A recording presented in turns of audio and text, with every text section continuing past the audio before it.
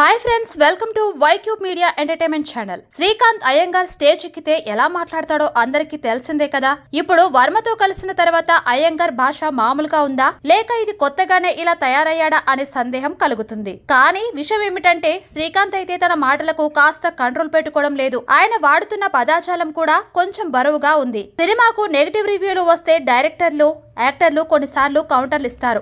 ఏది ఏమైనా చాలా కష్టపడి తీసిన సినిమాకు నెగిటివ్ రివ్యూలు వస్తే బాధపడటం సహజమే. కానీ అలా బాధపడటం ఒక లెక్కైతే నెగిటివ్ రివ్యూ ఇచ్చారంటే ఇష్టం వచ్చినట్టు బూతులు తిట్టడం సరైనది కాదు. ఇటీవల జరిగిన పొటెల్ సినిమా సక్సెస్ మీట్లో అయ్యంగార్ రివ్యూవర్ల మీద గట్టిగా మండిపడ్డాడు. తొక్కలో రివ్యూలు అంటూ దారుణంగా మాట్లాడేశాడు. ఆయన మాటలు చూస్తుంటే నిజంగానే గృహలోనే ఉన్నాడా అనిపించింది. రివ్యూవర్లు షార్ట్ ఫిల్మ్ కూడా తీయలేని వాళ్ళు ఉంటూ నీచంగా కామెంట్లు చేశాడు ఏదైనా ఓ లిమిట్లో ఉంటే మజా కానీ ఇది మాత్రం కాస్త దారుణంగా తయారైంది. ఇండస్ట్రీలో ఇప్పటికే రివ్యూల మీద పెద్ద చర్చలు జరుగుతున్నాయి. కొన్ని రివ్యూలు రాత్రిపూట లేదా తెల్లవారుజామునే రావడం వల్ల సినిమాలకు నష్టం జరగొచ్చు అని కొందరు అంటున్నారు. చిన్న సినిమాలు అయితే రివ్యూల వల్లనే జనాల్లోకి వెళ్ళి హిట్ అవుతుంటాయి కూడా. అయినా సరే నెగిటివ్గా రాశారంటే ఇలా ఇష్టం వచ్చినట్టు నోరు పారేసుకోవడం కరెక్ట్ కాదు అని మీడియా సర్కిల్స్లో చాలా మంది అభిప్రాయపడుతున్నారు. Thanks for watching this video Y Q media entertainment ఛానల్ని సబ్స్క్రైబ్ చేయండి. అలానే వీడియోస్కి లైక్ చేయండి అండ్ షేర్ కూడా చేయండి నెక్స్ట్ వీడియోలో మళ్ళీ కలుద్దాం. అంతవరకు బాయ్ బాయ్